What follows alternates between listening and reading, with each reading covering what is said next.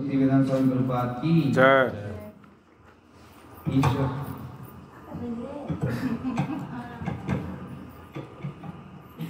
ईश्वर को जानने की विधि। वैदिक शिष्य परंपरा में गुरुजन अपने कथनों को सदा प्रामाणिक स्तोत्रों से सुने गए कथनों पर आधारित करते हैं। निजी अनुभव पर नहीं। अपने प्रत्यक्ष अनुभव के द्वारा वस्तुओं को समझने का प्रयास करना ज्ञान प्राप्त करने की भौतिक विधि है जिसे प्रत्यक्ष कहते हैं। किंतु वैदिक विधि इससे भिन्न है यह श्रुति कहलाती है जिसका अर्थ है प्रमाणिक स्रोतों से श्रवण करना। वैदिक ज्ञान का यही रहस्य है। आपको अपनी अपूर्ण इंद्रियों के आधार पर उन वस्तुओं को समझने का प्रयास नहीं करना चाहिए। कम आ रही है पेज क्या है फिर प्रभु? Twenty one.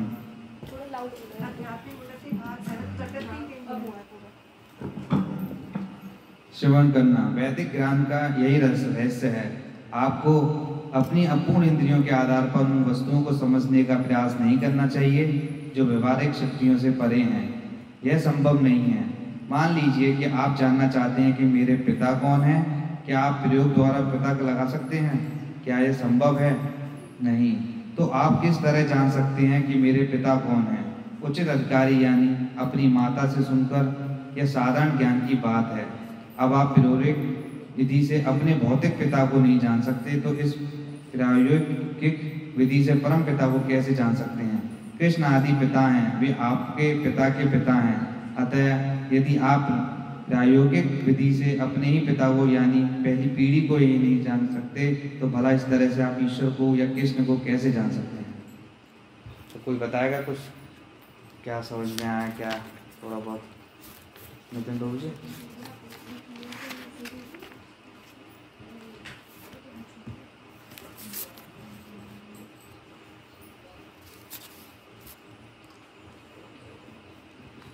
किसी को कुछ? सात लाइन जो इसमें जो बताया है इसमें सबसे पहले जो पाठशाला होती है घर घर ही एक पाठशाला होती है माँ बाप की पाठशाला होती है। जो एक दूसरे को बताते हैं ये कौन है ये कौन है ये कौन है? ये आपका भाई है ये आपका पिता है ये आपकी माँ है ये आपके दादा है ये आपके बाबा है। ये एक मतलब घर के ही घर के जो मेंबर होते हैं एक दूसरे को बताते हैं ये कौन है कौन बच्चे को तो इसका मतलब है जैसे परंपरा से सुनना हम्म, परंपरा का ज्ञान ही उसको ही फॉलो करना इधर उधर से ना सुन के। हम्म, सिर्फ़ जो हमारे गुरुओं से प्रमाणिक गुरुओं से हमें ज्ञान प्राप्त है। उसी को अभी हम अभी हम क्या करते हैं कि किसी ने कह दिया है कि आप ऐसे ऐसे पूजा करो ऐसा पाठ करो है ना? हम उनकी मान लेते हैं। जो चलते हुए च, किसी से की भी हम कहना मान लेते हैं। हमें ये नहीं पता गुरु कौन है किसको गुरु बनाया है किसको क्या मतलब क्या ये बोल रहा है ये सही है या गलत है। हम क्या सोचते हैं कि ये एक्सपीरियंस है तो हम चलो इसकी बात मान लेते हैं। तो बेसिकली यहाँ पर क्या बताया कि यहाँ पे हम लोग हर चीज़ नॉलेज को तीन तरह से समझते हैं। मतलब तीन तरह से हमारे प्रमाण होते हैं। एक होता है प्रत्यक्ष प्रमाण, एक होता है अनुमान प्रमाण, एक होता है शब्द प्रमाण। तो जो प्रत्यक्ष प्रमाण है, प्रत्यक्ष प्रमाण में क्या है कि हम अपनी इंद्रियों से देख रहे हैं प्रत्यक्ष कि ये यहाँ बैठा हुआ है है ना? हम कूलर चल रहा है, पंखा चल रहा है। तो ये क्या है कि ये जो प्रत्यक्ष प्रमाण है, हम लोग सोचते हैं कि अगर हम ये देख रहे हैं तो ये सही में सही नॉलेज हम ले रहे हैं। तो जैसे बताते हैं कि प्रत्यक्ष प्रमाण भी कभी कभी झूठा हो सकता है। कौन बताएगा कैसे?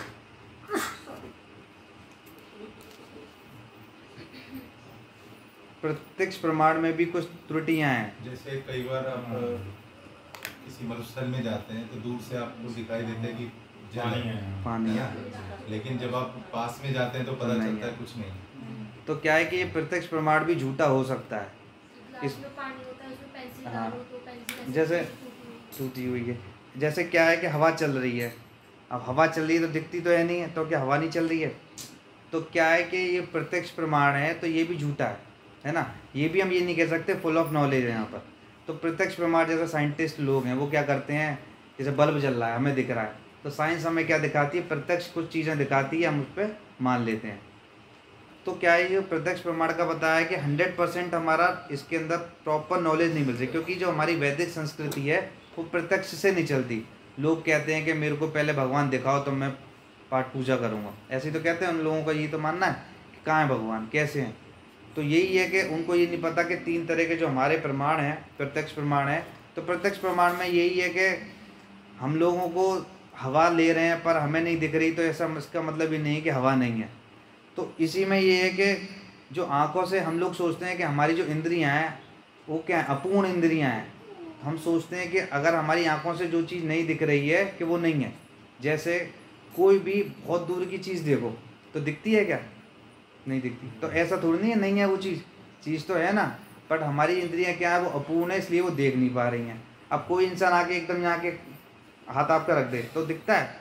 नहीं दिखता, क्योंकि आँखें बिल्कुल ही बंद सी हो जाती हैं। तो हमारी इंद्रियाँ क्या है, वो अपूर्ण है।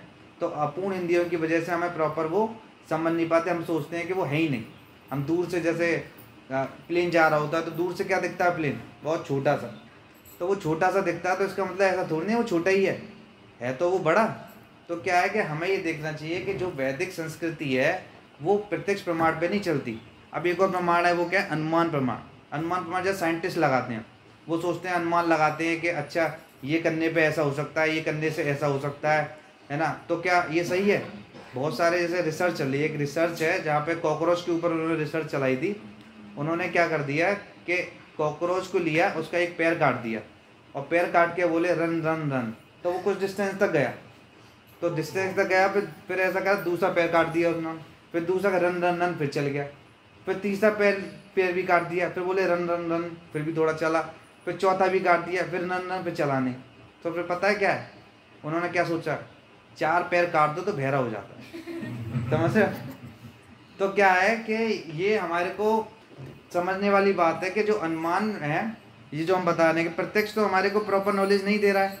ऐसी अनुमान है। अनुमान से हम कुछ भी लगा सकते हैं। रस्सी को हम सांप बैठे हैं सांप को रस्सी देखते हैं तो क्या है ये सब प्रत्यक्ष और अनुमान दोनों ही हमारे फुल ऑफ़ नॉलेज नहीं है इसके अंदर। तो हमारा तीसरा क्या आता है? शब्द प्रमाण। तो शब्द शब्द प्रमाण में क्या है? शब्द प्रमाण हमारा क्या है? जैसे हमारी गुरु परंपरा में, हमारे वैदिक साहित्य में भगवत गीता, भागवत में जो चीज़ लिखी हुई है, जो चीज़ अगर हमें लिखी हुई है, अगर हम उसके हिसाब से अनुशासन कर लें और उसको मान लें तो वो क्या कहता है हमारा? शब्द प्रमाण। शब्द प्रमाण कभी झूठा नहीं हो सकता। जैसे ये नहीं कि किसी भी राइटर की हमने लिखी हुई किताब को अगर हमने मान लिया, जो हमारी वैदिक संस्कृति में जो हमारे आचार्य हैं पुराने जो भगवान की परंपरा से चला रहा है, अगर हम उसके हिसाब से चलें, जैसे भगवान ने कहा कि हाँ तुम ये चीज़ करो तो ये चीज़ हो जाएगी। तो मतलब वो हंड्रेड परसेंट हो जाएगी।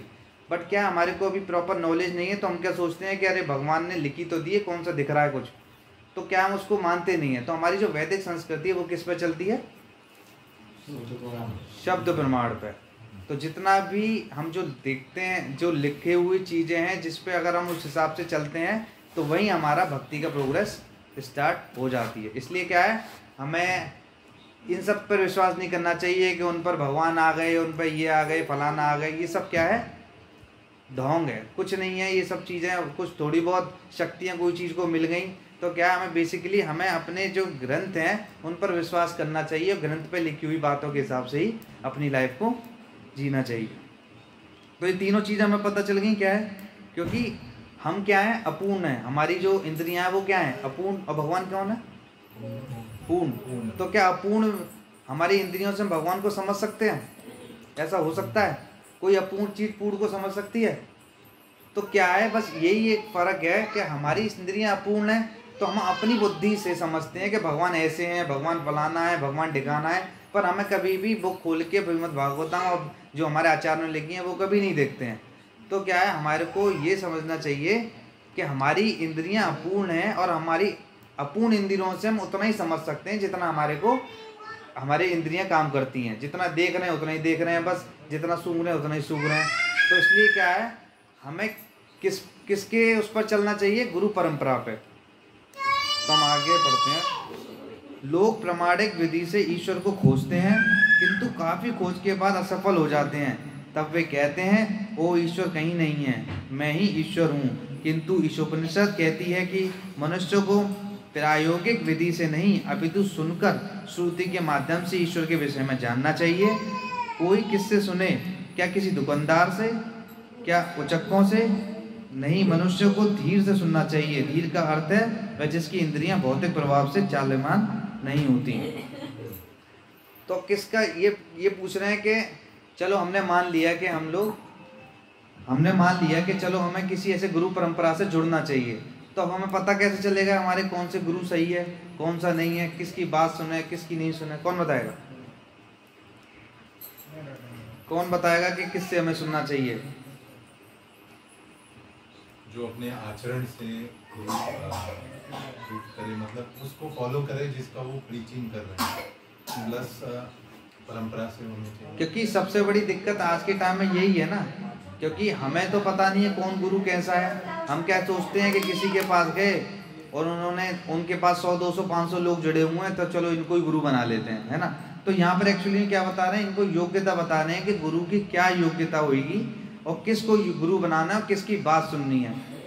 हमें ऐसा ना हो कि किसी की बात सुनने लग जाए, किसी की भी जो उन्होंने बुक दी पढ़ने लग जाए। तो हमें किसकी कैसी बुक पढ़नी चाहिए? कैसी पढ़नी चाहिए? जो आजकल की जो राइटर है उनकी? या कैसी? हमारी की जो ज्ञान दिया है वो चार लोगों को दिया था। जैसे ब्रह्मा जी को दिया था तो ब्रह्म माधव गौरी वैष्णव संप्रदाय जो हमारी संप्रदाय है। हम्म, और लक्ष्मी जी को दिया था तो श्री संप्रदाय। शिव जी को दिया था तो रुद्र संप्रदाय। और चार कुमार को दिया था तो कुमार संप्रदाय तो जो गुरु इन चार परंपरा में आते हैं वहीं से हमें कनेक्ट होकर ज्ञान तो हमें जब भी कोई किसी से बात करें, किसी गुरु के पास जाएँ या फिर हमारा कभी मन करे कि चलो हमें गुरु बना लेना चाहिए तो हमें क्या योग्यता सबसे पहले देखनी चाहिए कि वो जो हैरार की है पीछे की, वो किस संप्रदाय से जुड़ा हुआ है? ये चार तरह की संप्रदाय हैं। संप्रदाय कौन है? श्री संप्रदाय, चार कुमार संप्रदाय, ब्रह्म संप्रदाय और रुद्र संप्रदाय।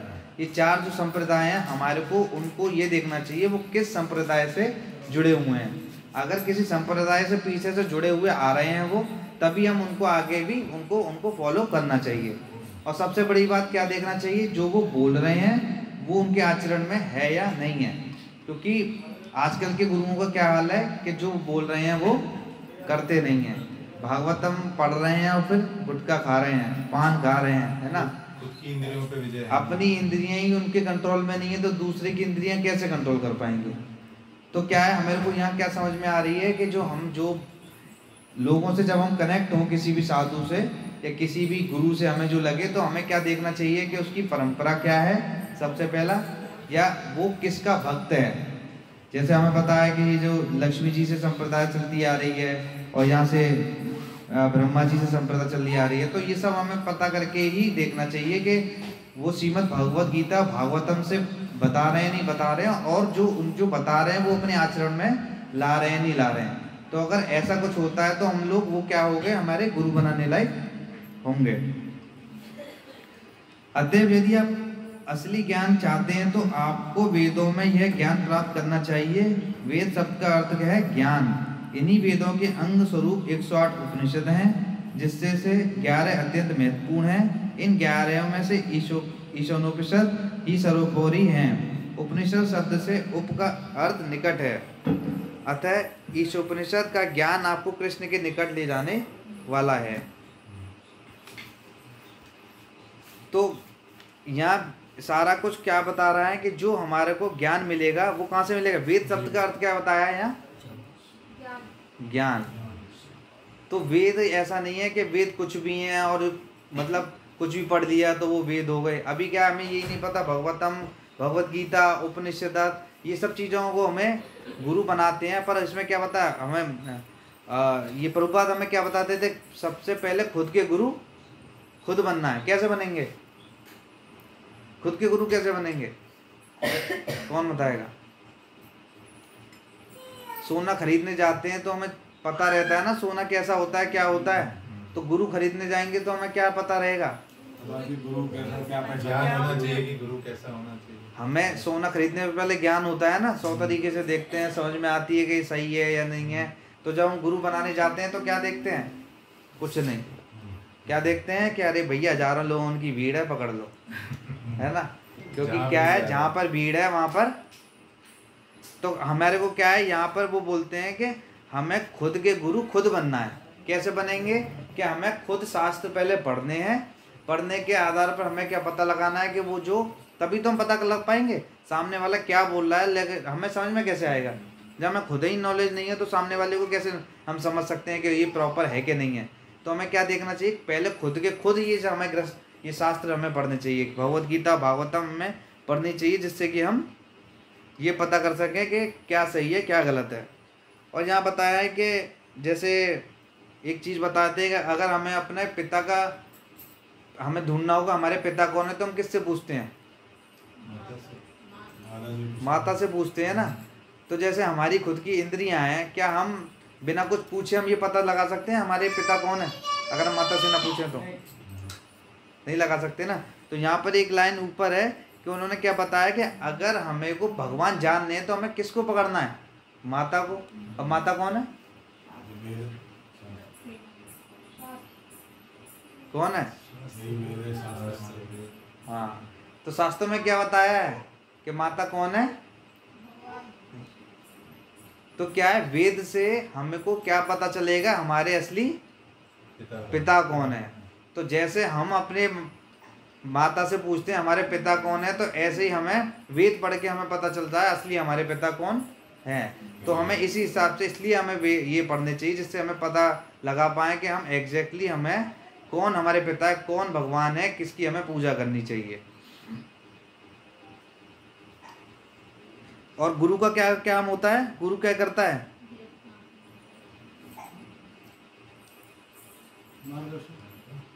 मार्गदर्शन करता है। बहुत अच्छा गुरु है। और? नितिन आध्यात्मिक ज्ञान प्रदान करता है। और एक मतलब प्रदर्शन करता है मतलब। डायरेक्शन देता है हमें क्या सही सेवा में लगाते हैं। हैं। हैं। डाकिया देखा है डाकिया? पोस्टमैन वो क्या करता है? वो सामान वहाँ से आया और दे देता है। कुछ उसमें वो करता है कि चिट्ठी आई है इसमें कुछ बदल के दूसरा कर देते हैं। एज इट इज़ देता है ना वो चीज़ें। है। तो क्या है गुरु क्या करता है हमारे को? कैसा काम करता है वो? डाकिया।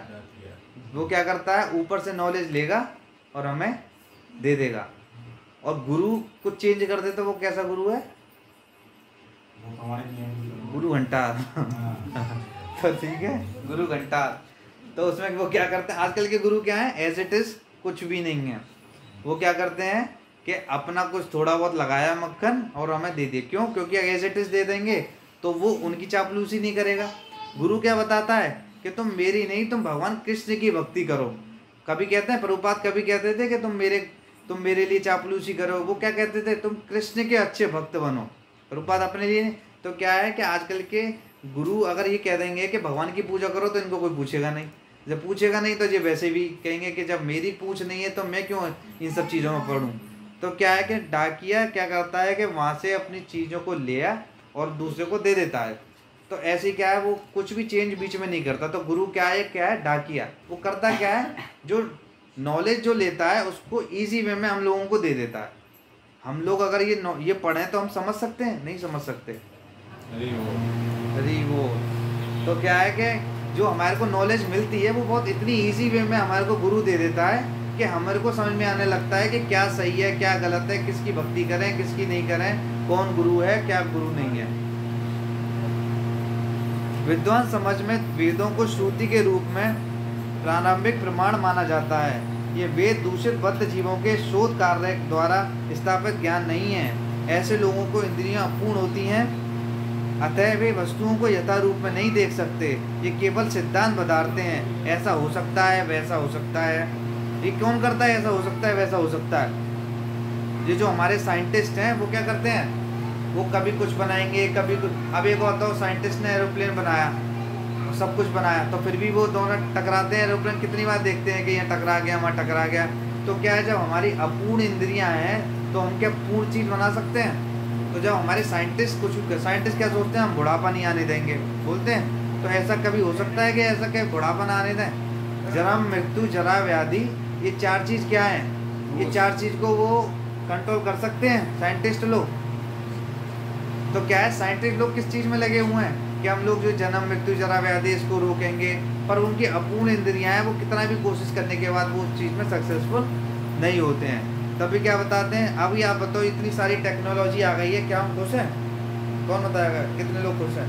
इतनी इतनी अच्छी टेक्नोलॉजी से। हैं? और डिस्टर्ब कर इसने। खासकर इस चल रहा मोबाइल है नई जनरेशन है साइंस का जमाना है तो साइंस के जमाने करेगी करेगी। तो सब साइंस कर रही है तभी लेकिन हम हम कितने खुश भी तो कितने हैं। अब ये बताओ पहले हॉस्पिटल जाता थे या अब जाना है? तो बताओ कि हाँ हाँ। उन्होंने पढ़ा था कि सबसे अच्छा कौन सा है? मैंने पढ़ा था तो से उसको मान रहा है कलयुग को मान बना रहा है। बताया गया ये बता देता हूँ। मैं आपको हाँ। बताइए के जो लोग होते सबसे मान बताया गया। है हम्म, कि जो सतयुग था उसमें जो लोग थे बुद्धिमान थे और काफ़ी हाइट के हाँ बहुत ऊँची हाइट होती थी। तो एक बहुत बड़ा पहाड़ था। उस पहाड़ को रखना था एक किसी बड़े उसमें डाले थे जिससे वो रास्ता आर पार हो सके। तो उन्होंने अपनी का वो लिया और शक्ति ली और उसको आगे मार। दिया ऐसे ही त्रेता युग में हुआ। उस उस युग के भी लोग काफ़ी बलवान हुआ करते बलवान हुआ करते ऐसे उन्होंने कर दिया। अब आया कलयुग का नंबर। तो कलयुग के लोगों की हाइट कितनी थी? छोटी सी। छोटी थी बल कितना था? थोड़ा सा। थोड़ा सा। लेकिन बुद्धि बहुत थी। तीव्र बुद्धि नहीं है बुद्धि नष्ट बुद्धि है। हाँ, सुनो सुनो हाँ। ये जोक अब कुछ सुन लो जोक सुन लो या कुछ सुन लो ये जो- मन तो हमारी क्या है? बुद्धि और मंद हो जाएगी कलयुग में। पर मंद मंद क्या है? हम क्यों नहीं मंद समझ रहे हैं? कि हम साइंटिफिकली तो बहुत ग्रो कर रहे हैं। आप एक बताओ कि कोई भी चीज़ अब गर्मी थी एसी चल गया है ना? सब चीज़ हो गया। बट इसके पीछे लॉजिक देखो जितनी ज़्यादा तरक्की है उतना हम खुश हैं या फिर तो आ, युग कल युग का मतलब ये है कल कल पुर्जे साइंटिस्ट का युग। वो था हमारा सतयुग जो बिल्कुल ना तो कूलर थे ना ये था ना बिजली थी ना कुछ था। कुछ भी नहीं था। उसी में मस्त रहता था। रहता है ना? त्रेता फिर आया त्रेता युग, द्वापर आया त्रेता आया फिर द्वापर आया फिर कलयुग आया जो तो हमें तो बचना है हमें जब पता चल गया है यहाँ पे साइंस का है और हमें पता चल गया है कि आप कैसे बचोगे। नहीं आजकल जैसे बताते ना ये एसी कूलर भी आ गए हैं। बताया सर्वे में कि 90 परसेंट लोगों के पास आज भी एसी कूलर नहीं है भारत में। मैं नहीं, नहीं। तो बीमारी होती है। अभी मैं बताऊँ जब प्रभुपाद थे ना अरे ये ये प्रभु जब प्रभुपाद थे ना तो प्रभुपाद कहते थे कि मेरे को बी भी ला दो और जितना करोड़, जितना तुम पर करोड़ों पैसा है, वो सब ला दो। तो वो क्या है? हम बच कैसे सकते हैं? जब हम पिछली हमें उसमें देखा था ना, कृष्णा को सेंटर ले लो। समझ रहे हो? अगर हमारे पास चीज़ें भी आ रही हैं तो अगर हमारे को भगवान को हम बीच में रख लेंगे तो हमारे को प्रभाव नहीं डालेंगी। जैसे प्रभुपाद थे ना तो वो कौन सा था? वो योगी टॉकी क्या बोलते थे उसे? वॉकी टॉकी था कुछ बोलने का। हाँ। कुछ और नाम था, जैसे बोलने का होता था। तो वहाँ पे क्या है प्रभु हाँ कुछ ऐसा करके फ़ोन था तो प्रभुपाद जो भी चीज़ आती थी ना उसी को भगवान से जोड़ते थे। तो उनको जब बोलने की वो चीज़ चीज़ ऐसी कुछ मिला ना जब तो ऐसा कुछ खास नहीं था तो वहाँ तो टेक्नोलॉजी थी यूएस में तो जब उनको ये मिलता था तभी कहते थे ये भगवान के लिए प्रचार में बहुत अच्छे से काम आएगी। इसको तो हाँ वॉइस वॉइस रिकॉर्ड होगी जिससे कि चार लोग सुन पाएँगे। तो क्या है कलयुग के टाइम में मोबाइल है। अब मोबाइल का यूज़ दो तरीके से है। जैसे बताया पिछली बार इंद्र तप्ती करते हैं गृहस्थ और गृह महती तो गृहस्थ क्या करता है? जो चीज़ों को लेगा भगवान की सेवा में लगाएगा। वो बीएमडब्ल्यू खरीदेगा तो वो किस लिए? कि वो साधु को बिठाएगा? रथ यात्रा में निकालेगा क्या दिक्कत है? वो जब तक चीज़ हावी नहीं है जब तक चीज़ों का हम अपनी इंद्रिय तृप्ति में नहीं लगा रहे। कलयुग होने तो कलयुग से हमें क्या फ़र्क पड़ रहा है? हमारे को बस हमारा क्या काम है? कृष्ण की सेवा करनी है। जो चीज़ मिले कृष्ण में कृष्ण को सेंटर ले देना है।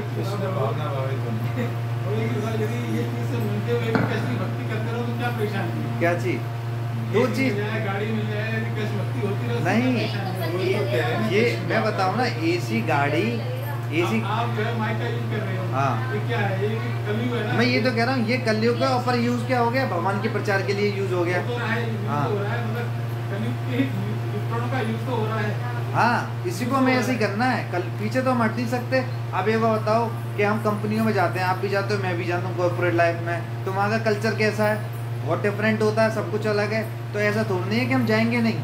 हम जाएँगे, हमें क्या ले लेना है? एक शेल्टर ले लेना है। शेल्टर कैसा ले लेना है? ये हमारे चार प्रिंसिपल हैं, हमारी सोलह मालाएँ जो हमें नियम बताए हैं, उसको फॉलो करते रहो और जो चीज़ मिलेगी, भगवान को सेवा में लगाते रहो।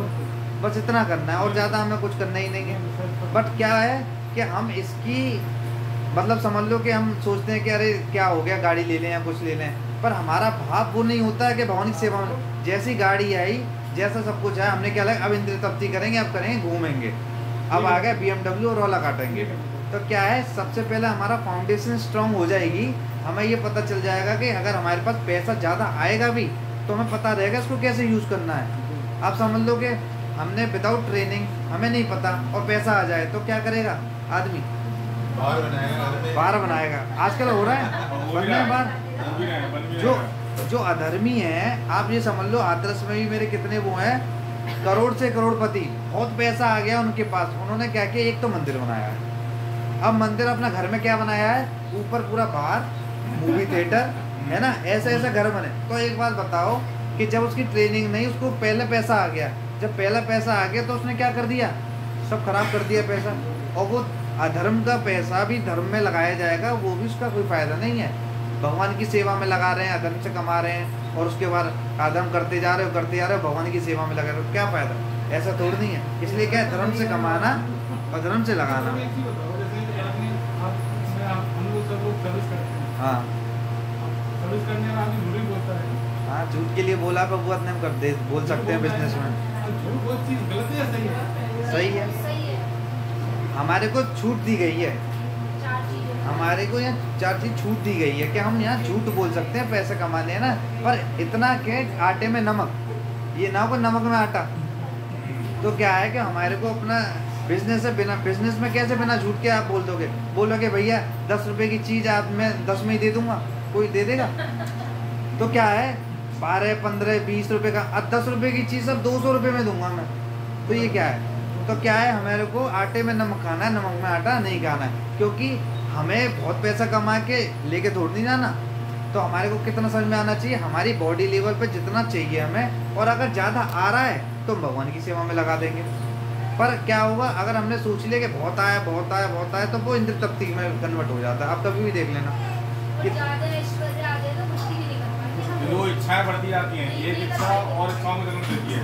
एनसीआर के अंदर जितने भी आसपास के गाँव हैं सारे के सारे किसानों की जमीनें बिकी अरबों रुपए मिले उन्हें आज उसमें से मुश्किल से दस परसेंट ठीक ठाक है। नाइन्टी परसेंट ने पैसा बर्बाद कर दिया। है ना? एक बी आ गई एक रॉयल्स रॉयल आ गई वो पड़ोसी के आ गई उसने भी खरीद। है हाँ जा रही जाते हैं, हाँ, फिर नाइन्टी परसेंट अब फिर से वही गरीब हो गए। हाँ। अरबों रुपए मिलने के बाद। देखो मेटीरियल मेटीरियली बहुत पैसे वाला लगना उससे फ़र्क थोड़ी नहीं है। अंदर कितनी शांति सबसे ज़्यादा फ़र्क वो है। और ये चीज़ें तो क्या है ना कि कितना भी कमाते रहो, जैसे बोलते हैं, सुख के पीछे दुख। आएगा ही गाड़ी खरीद के लो स्क्रैच लगेगी, तब परेशान करेगी। करेगी? देखिए कभी? नई नई गाड़ी को बड़ा समझा समझा के रखते हैं कि भैया, कुछ ना लग जाए। फिर जैसे ही थोड़ा उसके अंदर लगेगी तो वही दुख करेगा, है ना?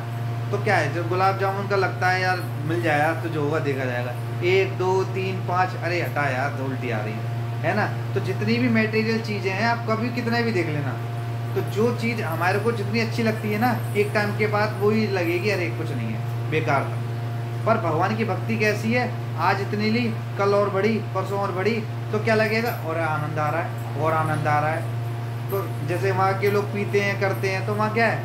ऐसी, मैं ऐसी क्या पियो जो सुबह उतर जाए। वहाँ बोलते थे, एक लाइन थी कि शराबियों से बोलते थे कि ऐसी क्या पीनी जो रात रात को पियो, सुबह उतर जाए। हम तो ऐसी पियो जो दिन पे दिन चढ़ती चली जाए।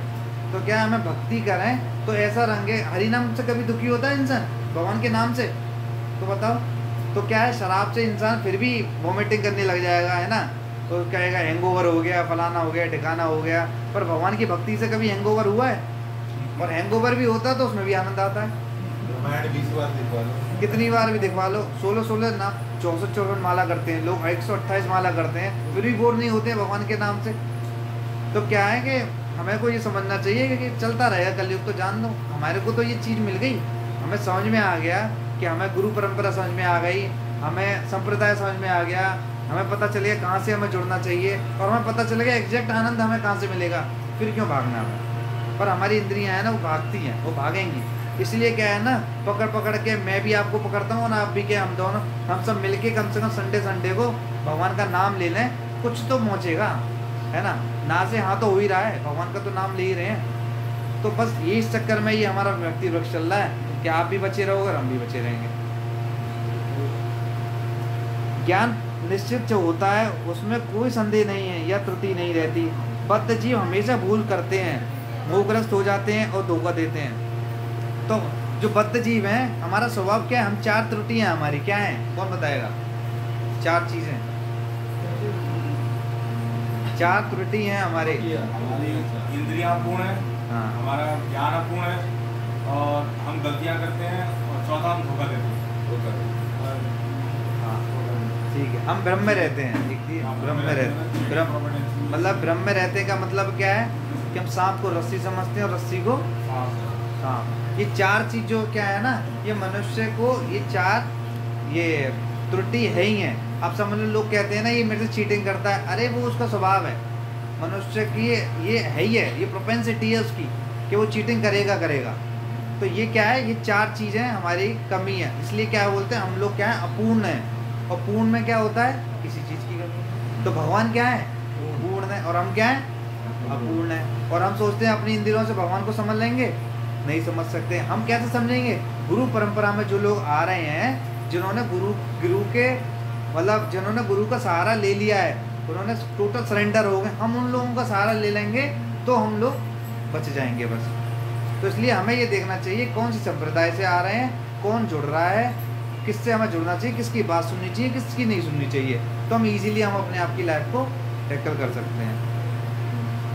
तो ये किस तरह जीव हमेशा भूल करते हैं मोहग्रस्त हो जाते हैं और धोखा देते हैं। वे किस तरह धोखा देते हैं? जब कोई भगवत गीता को ना समझते हुए उस पर टीका लिखता है तो वह अबोध जनता को धोखा देता है। जिसके पास यदि विद्वान की उपाधि होती है, वह भगवद गीता की लोकप्रियता का लाभ उठाकर लिखता है। ऐसा ही तथाकथित विद्वान ये दावा करते हैं कि कोई भी व्यक्ति अपना मत व्यक्त, व्यस्त कर सकता है, किंतु भगवद गीता में भी श्री कृष्ण कहते हैं, केवल भक्ति गीता को समझ सकते हैं। अतः ये तथाकथित विद्वान लोगों को धोखा देते हैं। निष्कर्ष यह है कि यदि आप प्रमाणिक ज्ञान चाहते हैं तो आपको ऐसे प्रमाणिक गुरु के पास जाना होता है, जिनके परम सत्य को जान लिया है। तो यहाँ पर क्या बता रहे हैं कि भगवत गीता कोई एक तो है नहीं, हज़ारों तरह की भगवत गीता है। आपने देखा होगा, पहले हम सुनते थे कि ये भगवत गीता इनकी है, ये भगवत गीता उनकी है। तो क्या ये भगवत गीता क्या कर रही है? हमारे को उन लोगों से ही समझना चाहिए, जो भगवत गीता, जो जो भगवान के भक्त हैं। अगर जब भक्त नहीं होता ना, जैसे भगवत गीता के आजकल कॉर्पोरेट लाइफ में आप देख रहे होंगे, भगवत गीता के ऊपर बहुत सारे मोटिवेशन स्पीकर्स हैं।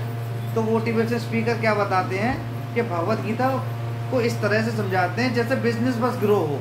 उनको, उनका जो मेन उद्देश्य होता है, उनको होता है कि मोटिवेशन देना बस। पर उसके पीछे जो बताते हैं, भगवान को छोड़ देते हैं वहाँ पे। भगवान का नाम हटा देंगे और मोटिवेशन स्पीकर ये बन गए सारे। तो क्या है? वो क्या बता रहे हैं? हमें भगवदगीता उन लोगों से समझना चाहिए जो वो भगवान के भक्त हों। अगर भगवान के भक्त नहीं होगा तो वो आपको कुछ और समझा देगा। वो आपको ऐसी माया में फंसा देगा कि फंसे ही रह जाएँगे हम तो इसलिए हमें समझना चाहिए कि हर एक से भगवदगीता समझनी भी नहीं चाहिए और किसी भी लेक्चर को सुनना भी नहीं चाहिए। हम कभी भी जाते हैं, किसी के में भी बैठ जाते हैं भगवत गीता का चल रहा है, पाठ तो वहाँ बैठ गए, भागवतम चल रही है, वहाँ बैठ गए।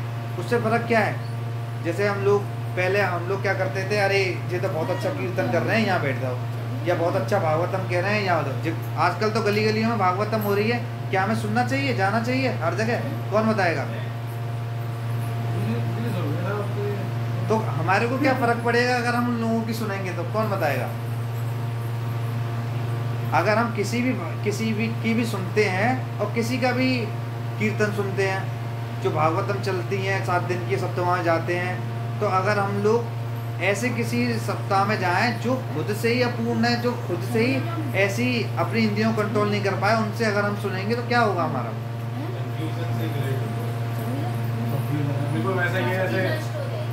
तो हम लोग जो भक्ति कर भी रहे हैं ना वो भी नष्ट हो जाएगी। अब लोग इसलिए क्या है कि बहुत से कहते हैं अरे आप तो हमारे इसमें आते ही नहीं है जो इस्कॉन से जुड़ जाते हैं। तो इस्कॉन से जुड़ जाते हैं तो वो क्या है उनको एग्जैक्ट पता चल गया कि हमें किससे सुनना है किस संप्रदाय से हम, किसका भाव क्या है तो जब हम ये सब चीज़ चल जाते हैं तो इसलिए हम लोग ज़्यादा जाते ही नहीं हैं कहीं पे भी। तो वो सोचते, उन्हें पता है कि एग्जैक्ट नॉलेज कहाँ पर है और क्या है। अगर हम उनका सुने, जैसे दूध में सांप डस जाता है ना तो वो क्या हो जाता है? जहर। तो ऐसे ही है, जब उनकी बात हमारे कानों में चली जाएगी ना तो हमारी भक्ति को नष्ट कर हो जाएगी। इसलिए क्या है, हर जगह के कीर्तन हर जगह की भागवतम। हमें बहुत ध्यान से देखना चाहिए कहाँ जाना है, कौन से गुरु के पास जाना है, कौन सा नहीं जाना है। तो हमारे को यहाँ कुछ क्वेश्चन आंसर हैं। ये ये वाला दियो। ये वाली बुक दे दे तो मैंने वो लगा रखे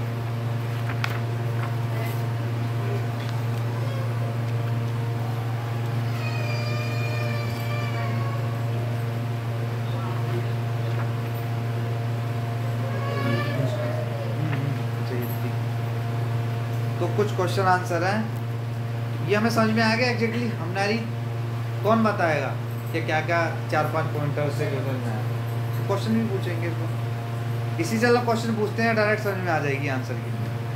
दो विधियों को बताइए जिससे हम ज्ञान प्राप्त कर सकते हैं। बताओ कौन सी दो विधियाँ शास्त्रों। हरे हरे कृष्णा। कौन बताए? नितिन बाबू जी बताएँगे। एक तो शास्त्रों के थ्रू और एक प्रमाणिक रूप से अच्छा। दो विधि और? हैं? वेदों के थ्रू। वेदों के से तो दो चीज़ क्या है? प्रत्यक्ष प्रमाण किसके है? तो वो क्या बताया हमने? मेटेरियल चीज़ें। मेटेरियल चीज़ों कैसे पता कर पाएँगे हम? प्रत्यक्ष प्रमाण से। और वैदिक हम कैसे पता कर पाएँगे? तो शब्द प्रमाण से। दो क्या है हमारे? प्रत्यक्ष और शब्द प्रमाण। ये दो चीज़ से हम लोग एग्जैक्ट नॉलेज कर सकते हैं। जो साइंटिस्ट हैं वो प्रत्यक्ष प्रमाण पे जाते हैं और जो वैदिक नॉलेज है वो किस पे जाती है? शब्द प्रमाण पे। शब्द प्रमाण समझ में आ गया? क्या है? कि जो आचार्यों ने लिखी हुई जो टीकाएँ लिखी हुई हैं उसको समझना। वेद हमारे पास कैसे पहुँचे? कैसे पहुँचे वेद। कैसे पहुँचेंगे? गुरु परंपरा के द्वारा। तो हमें समझ में आ गई हिरारकी हमारी क्या है? हमारे को किससे लेना चाहिए? गुरु परंपरा से। हमारे को देखना चाहिए कौन से संप्रदाय से आ रहे हैं और किस, किसको गुरु बनाना है, किसको नहीं बनाना। जब गुरु परंपरा के साथ जैसे हम हम कौन सी परंपरा से हैं? हम गौड़ी ब्रह्मादेव गौड़े संप्रदाय से हैं। तो हमारे क्या है? हमारे को अगर हमसे बताएगा हमारे ऊपर कौन है, इससे ऊपर कौन है, इससे ऊपर कौन है तो पूरी हैरार की जुड़ी हुई है। तो ये क्या है हमारी तो हम एग्जैक्ट संप्रदाय पे चल रहे हैं तो अगर हमसे कोई भी ये नहीं कह सकता कि यार किससे नॉलेज ले रहे हो क्या ले रहे हो तो हमारे को देखना चाहिए ऊपर की हैरारी की क्या है। तो जब भी किसी के गुरु बने भी हो तो उनसे पूछ सकते हो कि हम कौन से सब परंपरा से हैं कौन से संप्रदाय से हैं तो हमें पता चल जाएगा कि सही जगह हैं कि नहीं है। बताया है एवं परंपरा प्राप्त हम हाँ। कि परंपरा से आया ज्ञान और फिर ये जब ज्ञान बीच में लुप्त हो गया तो ने फिर गीता द्वारा बोला। फिर दोबारा बोलिए तो क्या है एक चीज़ बताओ जैसे अलग अलग परंपराएँ बनी है लेकिन टारगेट तो सबका टारगेट तो एक ही है। एक ही है हाँ। रास्ते अलग अलग हैं लेकिन टारगेट एक ही है। टारगेट तो एक ही है रास्ते अलग अलग हैं यदि कोई लेकिन कोई किसी से भी कनेक्टेड है वो सही है। वो बस मतलब श्री संप्रदाय से हो या किसी से हो बस मूड चेंज हो जाता है। मूड चेंज हो बस- है मूड चेंज हो जाता है। कहीं माधुर्य भाव आ गया कहीं कोई भाव आ गया तो क्या है भाव का चेंज हो जाता है बस और कुछ नहीं है। बट आपको चार संप्रदाय में से किसी भी संप्रदाय का अगर गुरु है ना तो आपको एक्सेप्ट कर लेना चाहिए। हमें ऐसा नहीं है कि ये ये सब संप्रदाय का ये बस एक्चुअल हमें ये ध्यान रखना चाहिए चार संप्रदाय है इन चार संप्रदाय में कोई भी आना चाहिए। अगर इस संप्रदाय में आएँगे तो वो गुरु बनाने योग्य हैं। वेद हमें कैसे सुनना चाहिए? कैसे सुनना चाहिए? दुकानदार से? कैसे? रिक्शे वाले से। किससे सुनना चाहिए? हाँ प्रभु किससे सुना है? स्कूल में जाते हो तो किससे सुनते हो? टीचर से? क्यों बाहर जो ये ई रिक्शे वाले उनसे कभी नहीं सुना? इनसे नहीं सुना? जो गार्ड आते हैं उनसे नहीं सुनते हो? उनकी पढ़ाई समझ में नहीं आती? वो भी तो बताने two into two equal to four नहीं? तो हमें किससे सुनना चाहिए? प्रमाणिक गुरु। प्रमाणिक गुरु से सुनना चाहिए। चलते फिरते दुकानदार दुकानदार हमारे आदत में तो बहुत ज़्यादा है। अरे गुरु शनि का बड़ा प्रकोप है। आप एक काम मेरे साथ भी ऐसे ही था जब चांदनी को लगा के बढ़ावा लगा दो व्यवस्था। तो क्या है हमें जब ये ज्ञान होने लगेगा तो उसकी जो चीज़ें हैं ना कुछ फ़र्क नहीं पड़ेगा। तुम्हारे साथ शनि का प्रकोप है तुम्हारे पास बृहस्पति की दिक्कत हो रही है तुम्हारे पास ध्यान की है फलाना ठिकाना। तो क्या है, जब हमें समझ में आ जाएगी तो हम इन सब चक्करों में पड़ेंगे नहीं। हमें पता है कि शास्त्र क्या कह रहा है हमें क्या करना चाहिए क्या नहीं करना चाहिए उसके हिसाब से हम लोग चलें। तो कितना ईजी लाइफ हो जाएगी? अभी ईजी है क्या? ये पढ़ने के बाद हो जाएगी ईजी है? अभी इजी है? पढ़ने के बाद। नहीं तो उससे पहले क्या है? अरे आज बुद्ध तो चलो भैया आज इन्हें भोग लगाते हैं आज मंगल तो चलो हनुमान जी पे। शनिवार तो हनुमान जी बुधवार तो गणेश जी सोमवार तो विष्णु भगवान। तो क्या है? सात दिन के साथ भगवान। कोई नाराज़ ना किसी सही है। ये गलत है सही है? जो हनुमान मानता है। हनुमान? कोई हनुमान जी को मानता है कोई शंकर जी को मानता है गलत है सही है? आप एक बात बताओ जब प्राइम मिनिस्टर पता है आपको कौन है तो चीफ मिनिस्टर से व्यवस्था बनेगी? हो सकता है मेरा चीफ मिनिस्टर से काम हो रहा हो तो मैं आपको समझो ना आपके प्राइम मिनिस्टर तक की खोज है। आप प्राइम मिनिस्टर तक आप एक बताओ शादी में प्राइम मिनिस्टर और चीफ मिनिस्टर दो ऑप्शन मिल रहे हैं। किसके पास जाओ किसको बुलाओगे? नहीं मेरे को ये बताओ। हाँ नहीं वो वो तो पता है नहीं पता है हमको। एक भाई वैसे जस्ट पूछ रहा हूँ, शादी में दो हमें ऑप्शन मिले प्राइम मिनिस्टर चीफ मिनिस्टर किसको बुलाओगे? कौन किसको बुलाओगे जी आप किसको बुलाओगे? प्राइम मिनिस्टर नहीं आ रहा तो चीफ मिनिस्टर बुला लो। पर ये बताओ है, हाँ। तो ऐसे सब हाँ ये सही कह रहे हो है ना? तो जिसकी जिसकी जितनी नॉलेज वो उस हिसाब से बुलाएगा है ना? जिसकी जितनी पहुँच उसके हिसाब से बुलाएगा। जैसे देवी देवता है जैसे पापा और चाचा समझो है ना? तो ये हमारे को जो पापा और चाचा वाला कंसेप्ट है ना तो जैसे इंसान ये देवी देवताओं को बहुत जल्दी से एक्सेप्ट करता है, क्यों? जैसे समझो मेरे को जुकाम हो रहा है, अब मेरे को जुकाम होने पे आइसक्रीम खानी है, अब मैं चाचा के, चाचा आइसक्रीम खिला दो के अरे लल्लू आइसक्रीम खिला दी, ठीक है? अब पापा के पास गए, नहीं, कोई मतलब नहीं है, हम नहीं खिलाएँगे। अरे खिला दो पापा, नहीं खिलाएँगे नहीं खिलाएँगे, नहीं चाहे रोते मर जाओ। उन्हें पता है कि इसको खिला दी तो फिर ये दिक्कत में। तो क्या है, हमारे को जो चाचा है, वो क्या कह रहे हैं इंस्टेंट दे रहे हैं, फट से दे रहे हैं? हमारे को हमने कही, ये चॉकलेट, लो चॉकलेट। उन्हें नहीं पता है, दांत खराब अरे ठीक है, कोई बात नहीं है। तो क्या है ये जो हमारे को देवी देवता है ना तो देव, जैसे मैं भी हनुमान जी का भक्ति तो था, मैं कोई ऐसा थोड़ी नहीं सीधे कृष्ण जी पर तो ये देवी देवता है ना चीफ मिनिस्टर इनको पोजीशन दी गई है। और ये क्या है, ये लोग फट से चीज़ों को दे देते हैं। मतलब मैंने कहा कि अब मेरे को, भगवान मेरे को ऐसा कर दो तो वो कर देंगे। जैसे हनुमान जी बल चाहिए, है ना? भगवान जी, ये हनुमान जी दे देंगे। है ना? जैसे लक्ष्मी जी की पूजा करें तो हमें को पैसा आ जाता है इंस्टेंट आ जाएँगी चीज़ें। तो इसलिए क्या है जब इंस्टेंट हमें को आने लगती है तो हम क्या सोचते हैं कि जब हमारे इनसे व्यवस्था हो रही है तो क्यों फालतू दिमाग कच्ची लगाएँ तो गलत है सही देखो गलत क्या है जैसे हमारी भगवत गीता में बताता है जो देवों की देवता की पूजा करता है वो देवलोक में जाएगा। है ना? जो जो पितरों की पूजा करता है वो पितृलोक में जाएगा। जो भगवान की पूजा करता है वो कहाँ जाएगा? भगवान के धाम जाएगा। जब हम देवलोक में जाएँगे तो देवलोक में क्या है? आपको लग- लगता है फिर आएँगे नहीं? फिर हमें आना पड़ेगा। हमारे जैसे पुण्य सब कुछ हो जाएँगे वहाँ खत्म। फिर हम यहाँ पर आ जाएँगे। तो देवताओं के देवलोक में या कहीं पे भी लोग जाएँगे तो वहाँ जैसे ही हमारे पुण्य नष्ट होंगे फिर आ जाएँगे। फिर पुण्य होंगे फिर नष्ट हो जाएँगे। तो कोई ऐसी जगह जाना चाहोगे जहाँ परमानेंट व्यवस्था हो आनंद की या ऐसी कर, करना करना पड़े? बताओ। कैसी जगह जाओगे? सीधे बैकुंठ? तो जब बैकुंठ में है तो क्या है? भगवान क्या है? भगवान सुनते देर में है। हम, पर सुनते वही चीज़ है जो हमारे लिए अच्छा होगा। तो क्या है? हमारे को बस यही है। पर हम देवी देवता की पूजा करते हैं, हम जाते हैं। ऐसा नहीं है कि जाके हम नमस्कार भी नहीं करें। आप एक बताओ, चीफ मिनिस्टर की वैल्यू तो है? और हम चीफ मिनिस्टर को कोई वैल्यू ना दें? अरे चलेगा चलेगा चलो वो क्या फ़र्क है?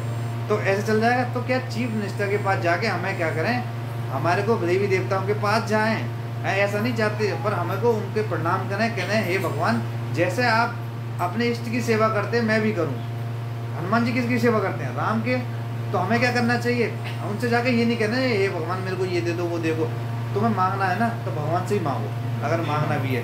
तो पर ये जो ऊँची सबसे चीज़ है तो हमें भक्ति मांगनी चाहिए। पर फिर भी हम लोग अभी उस लायक नहीं है कि एकदम से जैसे ध्रुव महाराज थे, उन्हें मांगने के लिए चले गए थे, ये चाहिए, वो चाहिए। पर क्या है जब हमारे को वो चीज़ें मिल जाएँगी ना, वो तो एक टाइम हमारे को भगवान अपना इंटरेस्ट ऐसा दे देंगे, अंदर आ जाएगा, कि हम फिर ये सोचेंगे कि जब पैसा भी आएगा ना, उससे आसक्ति नहीं होगी। ये भगवान, अब मुझे आप मिल जाओ बस। तो क्या है, इसलिए देवताओं के पास हमें जाना है। जाते हैं तो हमारे को उनसे कुछ मांगना नहीं चाहिए। हमें उन्हें कहिए जैसे आप इष्ट की पूजा करते हैं, ऐसे ही मैं आप उनकी इष्ट की पूजा करूँ। जैसे हनुमान जी पूजा करते हैं, राम की पूजा करते हैं, ऐसे ही हमें उनको, ऐसी भक्ति हमें मिले। शिव जी हैं है ना? भोले। उनका नाम भोला क्यों है? कौन बताएगा? वो इतने भोले हैं कि जैसे मांगो फट से मिल जाएगा। वो फट से हाथ रख देते हैं। ये भी नहीं सोचते वक्रसुर को जैसे लेकिन प्रभु आपने ये बताया है शास्त्रों में कि दास के दास को दास को मान पाया गया है। हाँ? हाँ, ठीक है ना? हाँ। अब हनुमान जी राम के भक्त हाँ। मैं मान लो मैं हनुमान जी का भक्त हूँ। हाँ। नीचे और कोई भक्त है। हाँ।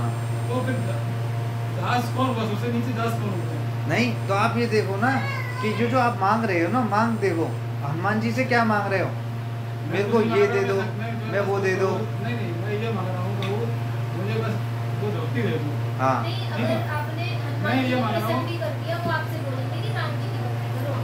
देखो जब जब ये जब देवी देवता प्रसन्न होते हैं ना तो जैसे मैं था हनुमान जी का भक्त था तो जब वो जब वो हमको, जब प्रसन्न होते हैं तो वो क्या करते हैं? वो हमें भगवान की, हमारे को ऊपर स्टैंडर्ड बढ़ा देते हैं हमारा, कि अब मैं जैसे, एक बार बताओ, मेरे कोई गुरु हैं, आप मुझसे खुश हुए मतलब आपने इतनी सेवा करी कि मैं बड़ा खुश हो गया तो मैं क्या चाहूँगा कि मेरे गुरु से आप मिलो।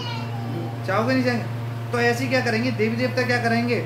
जैसे ही उनको लगेगा कि ये मेरे को इतनी मतलब इतनी भक्ति कर चुका है कि अब मेरे को गुरु से मिलवा देना चाहिए। तो वो क्या करेंगे? एक स्टेप आगे बढ़ा देंगे आपको। वो क्या करेंगे कि मैं भी गुरु की करूँगा और आप भी गुरु की करो तो देवी देवता ये करते हैं।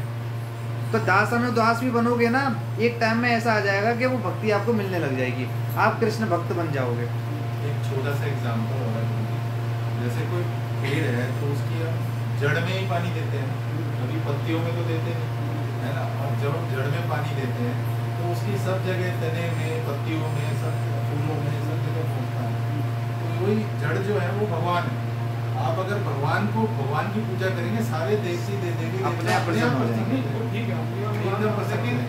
हर आदमी नहीं जानता इस हर आदमी हर आदमी कहाँ बैठा है यहाँ पर? मेरा कहना नहीं मेरा कहने का ये तात्पर्य हाँ सही कह रहे हो। जो आदमी हनुमान को माँगता है कोई शंकर को माँगता है तो गलत है सही। नहीं, है अब नहीं, देखो अभी उनको प्रॉपर नॉलेज नहीं है है ना?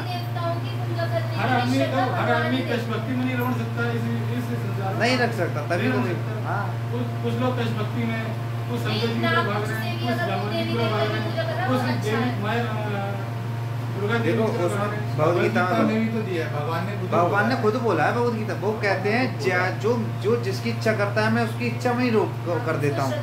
उसको उस हिसाब से श्रद्धा देंगे। जैसे मेरे हनुमान जी में लगी लन तो मेरे को अंदर से क्या मिला? भगवान मुझे ऐसी श्रद्धा देंगे कि मैं हनुमान जी की पूजा करूँगा फिर। देते हैं हाँ उसी तरह उस टाइम हैं वो हमारे हमारे ना अंदर वो स्थिर कर देते हैं कि वो हमारी मेरी बुद्धि बार बार हनुमान जी पे ही जाएगी। यहाँ पे। लेकिन फिर ये भी बता रहे हैं गीता में कि जो मेरी शरण में आए वो दुर्लभ है। जो मुझे वास्तव में हर एक कोई नहीं करता। के कृष्ण भक्ति हर एक के बस है और ये भी ये भी बोला है भगवान कृष्ण ने कि जो मेरे देवताओं की पूजा करते हैं वो इनडायरेक्टली मेरी पूजा करते हैं। हाँ, वो उन्हीं की कर रहे देवताओं हैं की पूजा जो कर रहे हैं वो त्रुटिपूर्ण ढंग से कर रहे हैं और उनको डायरेक्टली मेरे पास आना चाहिए। देखो जैसे प्राइम मिनिस्टर है ना चीफ मिनिस्टर में अपना कोई बल नहीं है। जब प्राइम मिनिस्टर कह देगा ये तुम्हें करना है तभी चीफ मिनिस्टर करेगा। चीफ मिनिस्टर में अपना कोई बल है? तो जो बल कौन प्रदान कर रहा है? At the last prime minister कर रहा है ना। चीफ मिनिस्टर हम देख रहे हैं चीफ मिनिस्टर में बड़ा बल है यार क्या उसकी रोल है अभी प्राइम मिनिस्टर कह दे कि तुम्हारा यहाँ से हटा देंगे मामला। क्या रह गया? तो जो बल देवी देवताओं को मिल रहा है वो भी किससे मिल रहा है? भगवान से। भगवान से ही मिल रहा है। तो इसलिए क्या है जब हम नॉलेज लेते हैं ना भगवत गीता पढ़ने तो सारे कंसेप्ट हमारे क्लियर हो जाते हैं। देवी देवता भी हमारी तरह हाँ। होते हैं उनका भी जन्म होता है मृत्यु उनका भी बुढ़ापा आता है उन्हें वो भी बीमार होते हैं। बस ये उनका मतलब पर हनुमान जी का तो ऐसा नहीं है। होता है? हाँ? हनुमान जी का तो ऐसा नहीं है। नहीं वो अमर है वो अमर है। सात कुछ लोग हैं है शायद। हाँ। हाँ। अभी जैसे हनुमान जी गिरिराज जी। हाँ। ये सब लोग गिरिराज जी तो वही हैं अपने। गिरिराज कृष्ण भगवान कृष्ण कृष्ण। तो क्या है कि हमारे को बस इतना है कि जैसे अभी आप ये कन्वर्सेशन चल रही है हमारी, सब कुछ सुनने कर रहे हैं। तो एक बता जब कन्वर्सेशन होगी, फिर हम कहाँ मटेरियली फंसेंगे। फंसेंगे? हमारे को जब नॉलेज होती जाएगी होती जाएगी, तब जैसे आप बोल रहे थे ना कि ये सब चीज़ें, ये सब सही है, गलत है, आपको लगेगा ये तो गलत ही है। क्यों ही गाड़ी वाड़ी को पीछे पड़ना? क्यों ये चीज़ें करना? तो बस नॉलेज जब प्रॉपर नॉलेज मिलती जाएगी, उतना फिर अपने आप में आनंद आता जाएगा। फिर एक ग्रंथ, एक इष्ट, एक मंत्र। कौन सा? कृष्णा, हरे कृष्णा कृष्णा कृष्णा, हरे हरे। हरे राम हरे राम राम राम। और ये किताब कौन सी? भगवत गीता एक किस्त कौन? सिंपल। जैसी हमारी नॉलेज मैं समझ लो स्टार्टिंग हनुमान जी मेरे से जब कह दिया था ना, कम से कम मैंने एक डेढ़ साल तक तो यही कन्वर्सेशन में लगा रहा जो मेरे वो थे। मैं तो नहीं करूँगा। मैं नहीं छोड़ सकता। है बिहारी जी को कम मानते हैं कृष्ण को मानते हैं? कम ज़्यादा मानते हैं। कृष्ण बिहारी जी एक ही अलग अलग है। नहीं इनका ना जो बिहार बिहारी जी का नहीं। है एक ही लेकिन मेरे नहीं, है तो ये कुछ एक ही है। नहीं देखा है मैंने कई बार देखा है। हाँ, हाँ। बिहारी जी को कम कृष्ण को ज़्यादा है। तो हाँ। मेरे हिसाब से दोनों एक ही हैं लेकिन उनके हिसाब से दोनों अलग अलग हैं। वो क्या है ना कि शायद मुझे लग रहा है कुछ एक किताबों में ऐसा लिखा है। कि राधा रानी साथ में नहीं है वहाँ पे इस वजह से थोड़ा याद नहीं है। वैसे वो ये ये नहीं है। नहीं वैसे क्या है कि है तो ये सब चीज़ें ही देखो कृष्ण की वजह से ही है। पर इसका प्रॉपर और पता नहीं कोई बता रहा था कि जो इसकी नॉलेज है ना वो अपने इस्कॉन में मतलब प्रभुपाद के टाइम पे पता नहीं आगे नॉलेज ये क्या कर रहे थे कि इसका कुछ बातें हुई नहीं थी। पहले ये आता है आप तो ऐसे ही कह रहे हो बहुत लोग कहते हैं बाकी बिहारी वाला। पूछ के बता ये पूछ के मतलब क्या है हम लोग?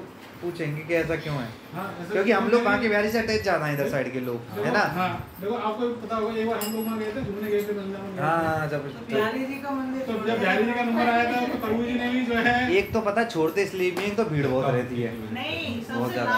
वही मतलब तो चलो भीड़ तो अलग हाँ, और फिर क्या ना, जैसे राधा रमन है राधा गोपीनाथ है ये सब आचार्य हैं हमारे। तो ये गोस्वामीन गोस्वामीनों ने ही यहाँ पे वो किया है। तो इन सब के जैसे हमारे गोस्वामी सब में आते हैं प्रकट करे हैं तो इनके मंदिर को प्रेफरेंस हम लोग ज़्यादा देते हैं उधर साइड जाने के लिए। पर इसका भी कोई कंसेप्ट होएगा पूछ के देखेंगे। हाँ। ये। नहीं कोई हो गए कभी बाकी बिहारी नहीं गई इस्कॉन हाँ। हाँ। नहीं नहीं ये ये है। ये बहुत बार होता है। जाते हैं पहले बाकी और हम लोग पहले क्या था सबसे पहले बांके बिहारी। बांके बिहारी हो गए तो सब हो गए। हम पहले यही सोचते थे क्या पर पर ये चलो हो जाए क्लियर समझ? अच्छा अब ये है कि समझ कौन को क्या समझ में आया है बताना भाई। उदाहरण द्वारा समझाइए कि हम भगवान को स्वयं अपने आप से क्यों नहीं समझ सकते? क्यों नहीं समझ? रहे संजय प्रभु जी आप बताओ। भगवान को हम क्यों नहीं समझ सकते अपने आप से? ऐसा क्या है जो हम नहीं समझ सकते? ज्ञान का अभाव।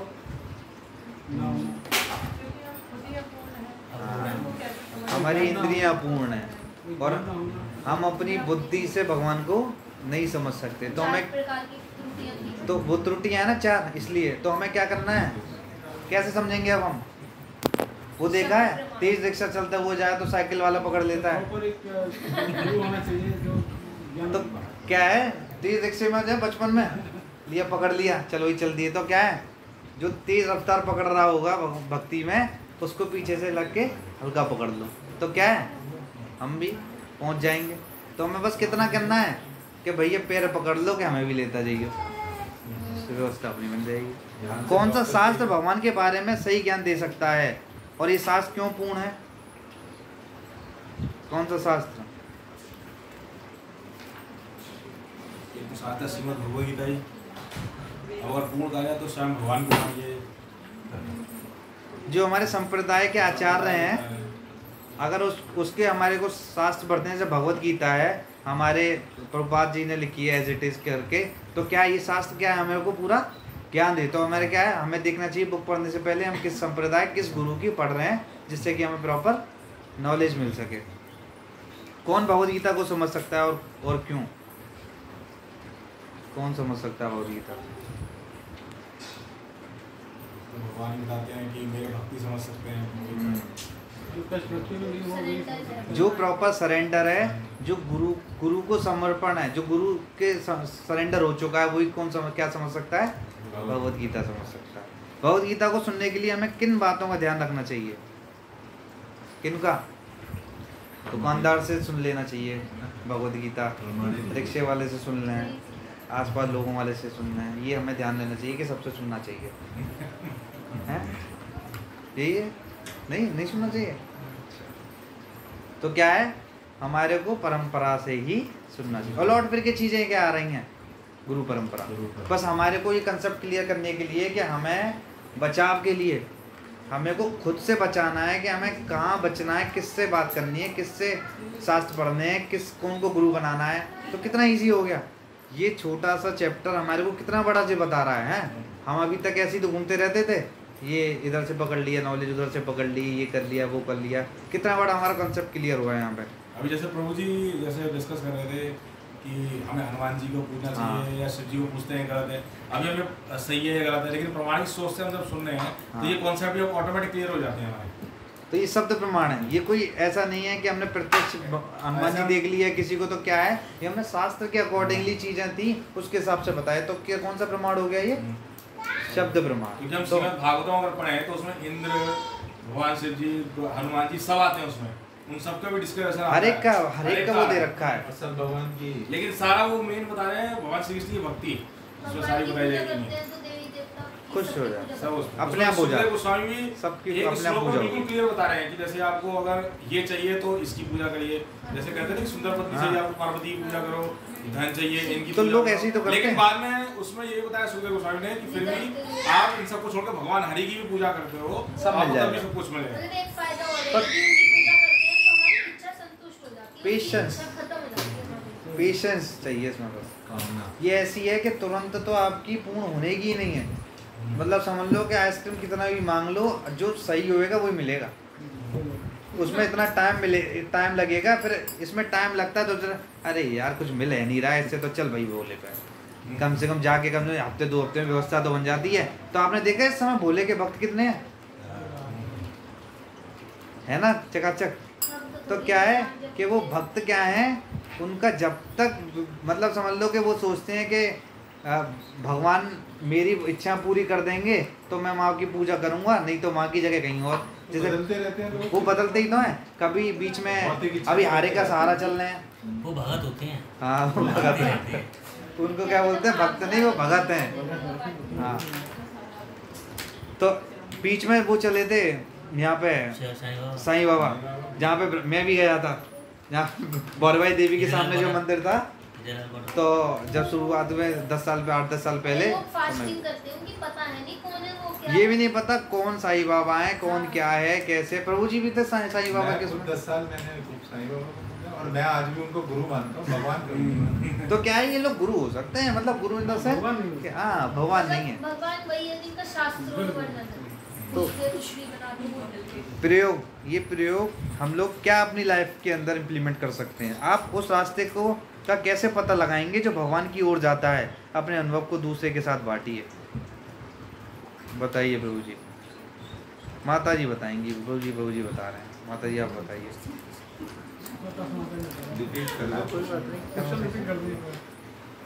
आप उस रास्ते का कैसे पता लगाएँगे जो भगवान की ओर जाता है? सील घड़ी पड़ी होगी। हैं? सील घड़ी? वाइट कलर की जो सील घड़ी होती है कैसे पता लगाएँगे? चूना ये भगवान का रास्ता है। कैसे पता लगाएँगे माता जी आपके सही रास्ते जा रहे हैं। सही रास्ता जाने के लिए इसमें भी गुरु जी को ही पकड़ना पड़ेगा। वही लौट फिर के गुरु परंपरा सब चीज़ें। तो ये बारह बारह इतनी बार आ चुके हैं अब हम समझ चुके हैं गुरु परंपरा और ये संप्रदाय रात में भी हमें संप्रदाय ये ध्यान। शास्त्र पढ़े तो परंपरा से आए हो गुरु चाहिए तो वही परंपरा लेकिन प्रभु अभी तो गुरु नहीं मिला अभी तक ऐसा जो हमें नहीं समझ में आ सके जो भगवान से प्रे करो आप गुरु मिलेगा वो भी मिलेगा। नाम अमृत पवित्र नाम का अमृत। श्री श्रीमद ऐसी भक्ति स्वामी प्रपात की। इस कलयुग में हमें मुक्ति दिलाने के लिए यह हरे कृष्ण महामंत्र बहुत ही उपयुक्त है। किससे मुक्ति मिल सकती है कैसे? हरे कृष्णा हरे कृष्णा कृष्णा कृष्णा हरे हरे हरे राम हरे राम राम राम हरे। जो कुछ भी भगवान के द्वारा बोला जाता है वह मंत्र हो जाता है और वह जीव की मुक्ति के लिए उपयुक्त होता है। बद्ध जीव भौतिक जगत में जीने के लिए बहुत ही कड़ा संघर्ष कर रहे हैं। संघर्ष कर रहे हैं नहीं भोजी आप कर रहे हो नहीं? कर रहे हैं चलो। मन सष्टांदिराणी प्रगति स्थानी कर्षति। इस भौतिक जगत से मुक्ति पाना व्यक्ति का सर्वोच्च उद्देश्य है। किंतु जब तक भगवान के द्वारा मंत्र प्राप्त नहीं करता है, उसकी मुक्ति असंभव है और यह शत्रु का मंत्र गायत्री मंत्र कहलाता है। अतः शुद्धिकरण के बाद व्यक्ति ब्राह्मण बनने के योग्य हो जाता है। उस स्थिति में में उसे गायत्री मंत्र दिया जाता है। सिर्फ़ गायत्री मंत्र के जाप से ही व्यक्ति की मुक्ति हो जाती है, किंतु यह मंत्र ब्राह्मण और देवता के लिए उपयुक्त है। इस इस कलयुग में सारे जीव कठिन परिस्थिति में हैं, अतः हमें एक उपयुक्त मंत्र की ज़रूरत है, जो कि इस कलयुग के खतरों से हमें बाहर निकाल कर और मुक्ति प्रदान कर सके। इसलिए भगवान श्री चैतन्य महाप्रभु के रूप में आकर हरे कृष्ण महामंत्र प्रदान करते हैं। शिक्षा अष्टकम में चैतन्य महाप्रभु कहते हैं कि परम विजय श्री कृष्ण संकीर्तनम। श्री कृष्ण संकीर्तन की जय हो। अतः यह मंत्र हरे कृष्णा हरे कृष्णा कृष्णा कृष्णा, हरे हरे हरे राम हरे राम राम राम, हरे हरे। भगवान द्वारा स्वयं उच्चारित है और हमारी मुक्ति के लिए दिया गया है। चिंगारी बहुत ही सुंदर दिखती है। जब तक वह अग्नि की ज्वाला के साथ रहे रहे, इसी प्रकार हमें उसी परम ईश्वर के सत्संग में में रहना चाहिए एवं सतत रूप से भगवान की भक्ति करते रहना चाहिए, तभी हम हमेशा उज्जवल एवं चिंगारी की तरह चमकते रहेंगे। जैसे ही हम भगवान की सेवा से दूर हो जाते हैं या भगवान को अस्वीकार कर देते हैं, हमारी चमक और हमारा तेज बुझ जाता है। हम जीवात्मा, जो कि अग्नि की चिंगारियाँ हैं और अग्नि कृष्ण हैं, इस भौतिक जगत में गिर गए हैं। अतः हमें यह महामंत्र भगवान से ही ग्रहण कर लेना चाहिए। जैसा कि श्री चैतन्य महाप्रभु ने हमें महामंत्र जपने के लिए बताया है, इस महामंत्र के जप से हमारी भौतिक जगत से मुक्ति हो जाएगी। जैसे इसमें क्या बताया कि जो ब्राह्मण ब्राह्मण थे और देवता थे तो महामंत्र किसको, वो ये गायत्री मंत्र है, वो किसको दिया जाता था? वो देने की विधि थी। जो ब्राह्मण और देवता के गुण होते थे ना, उन्हीं को गायत्री मंत्र मिलता था, है ना? तो क्या है कि अब इस समय हम ये सोचें भाई कास्ट नहीं गुड़ के आधार पर। जिन्होंने ब्राह्मण, जो ब्राह्मण जैसे गुड़ उत्पन्न कर लिए हैं, देवता जैसे गुड़ उत्पन्न कर लिए हैं तो उनको क्या मिलता था? गायत्री मंत्र मिलता था। तो अभी क्या करा कि इस समय हम कलयुग के सब शूद्र हैं, है ना? हम शूद्र उसमें हैं तो हमें क्या ये मिल सकता है गायत्री मंत्र? नहीं। और ब्राह्मण की जो गुण है, उसको उसको इतना उठना इतना ईजी नहीं है। तो हमारे को चैतन्य महाप्रभु ने क्या किया? इतना इजी वे में चैतन्य महाप्रभु आए और वो क्या दे गए? हरे कृष्णा हरे कृष्णा कृष्णा कृष्णा हरे हरे हरे राम हरे राम। राम राम हरे हरे। तो चैतन्य महाप्रभु आके हमें हरे कृष्णा का महामंत्र दे के गए क्योंकि हमारे को इतनी अपनी स्थिति इतनी तो है नहीं है कि ब्राह्मण और देवता वाले गुण हों तो जिससे कि हमें महा इस इसका जप कर सके हम गायत्री। इवन गायत्री मंत्र जो जपता है ना तो जो जपता है उसके उस बुक में भी ये लिखा हुआ है कि इसकी भी योग्यता है कि ब्राह्मण और देवता जैसे गुण होने चाहिए। तो अगर वो गुण नहीं है तो वो जप भी नहीं सकते। इसलिए हर एक कोई गायत्री मंत्र जप भी नहीं सकता है। तो हरे कृष्णा से हमारे को क्या मिलेगा? महामंत्र से हमारे को वो गुण मिल जाएँगे। वो गुण हमारे अंदर विकसित हो जाएँगे महामंत्र करते रहेंगे और जो हमारा कलमश है सारा कुछ वो क्या हो जाएगा? दूर हो जाएगा। और क्या बताया है? जैसे कहीं पे भट्टी जल रही हो तो चिंगारी देखी है छोटी छोटी कोयले में? देखते हैं। तो वो चिंगारी जब तक उसकी प्रकाश रहता, चमकती है, जब तक उस कोयले मई पर पूरी चिंगारी में डली रहती है।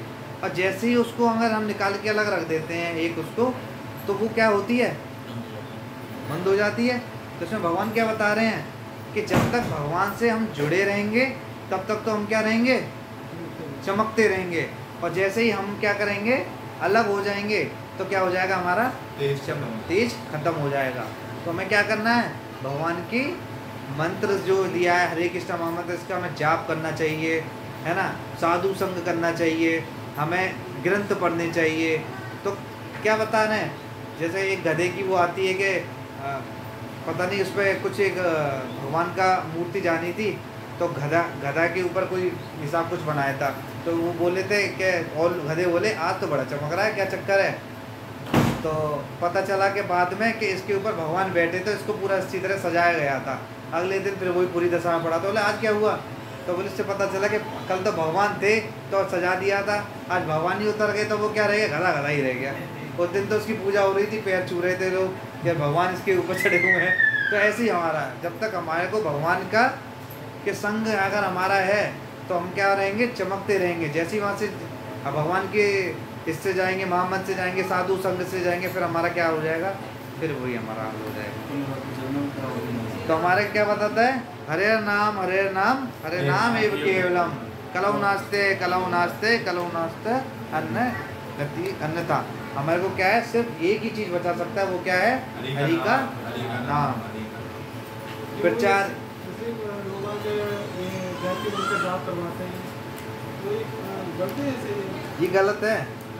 क्या है, देखो, एक मंत्र, महामंत्र जो हमारा है, उसको आप कैसे भी ले सकते हो।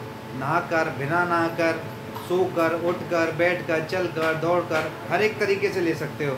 पर ये जो हमारा गायत्री मंत्र है ना, इसकी बहुत सारी चीज़ें हैं जो हमें ध्यान रखनी पड़ती हैं, है ना? इसके बहुत सारे रूल हैं। अब रूल तो कोई जानता नहीं प्रॉपर और वो करना स्टार्ट कर देते हैं तो उससे क्या है उसका गलत इम्पैक्ट पड़ता है हम अपराध हो जाता है। अपराध होते हैं। तो इसलिए क्या है हमें कोई भी मंत्र जैसे महामृत्युंजय मंत्र है लोग अपने घर में चला लेते हैं बोलते रहते हैं या कुछ करते हैं तो इसका क्या है हमारे को गलत इम्पैक्ट पड़ता है। तो इसलिए क्या है महामंत्र इसलिए बताया है कि उसको हम कैसी भी अवस्था में कर सकते हैं। पर ये और सब मंत्रों को अवस्था देखनी पड़ती है हमारे को हम इतने शुद्ध होने चाहिए है ना? हमारे आसपास का एनवायरनमेंट शुद्ध होना चाहिए काम बैठे होने चाहिए है ना कैसे बोलना है सबका एक वो है। इसलिए क्या है महामंत्र इतना सिंपल है कहीं पे भी कुछ भी कैसे भी बोलना लास्ट हमारा रह गया प्रचार ही सार है। पृष्ठ फिफ्टीन सी श्रीमद एसी भक्ति वेदांत स्वामी प्रपात की। बचा लिए लिए जाने पर भक्त को कृष्ण भावनामृत का प्रचार करना चाहिए। बचा लिए जाने पर बच गए क्या आप सब लोग? जुड़े हैं तो बचे बच गए तो हमें क्या करना है? प्रचार। प्रचार। श्री चैतन्य महाप्रभु ने वासुदेव को यह भी सलाह दी कि वह कृष्ण के विषय में प्रचार करें। इसके फलस्वरूप कृष्ण उसे तुरंत ही अपने भक्त के रूप में स्वीकार कर लेंगे। भगवान कैसे स्वीकार करते हैं? जब हम क्या करते हैं? भगवान के प्रचार में लगते हैं। भगवान का नाम लेते हैं और लोगों को दिलवाते हैं। यद्यपि वासुदेव विप्र एक कोट कोटी था कोड़ी था और अत्यधिक कष्ट उठा चुका था फिर भी चैतन्य महाप्रभु ने उसे निरोगी बना दिया। महाप्रभु ने इसके बदले उससे यही मांग की कि वह कृष्ण के उपदेशों का प्रचार करे और सारे जीवों को मुक्त बनाए। मुक्त किस चीज़ से होंगे सिर्फ़ हमारे महामंत्र से। अंतर्राष्ट्रीय कृष्ण भावना में संघ की यह विधि है।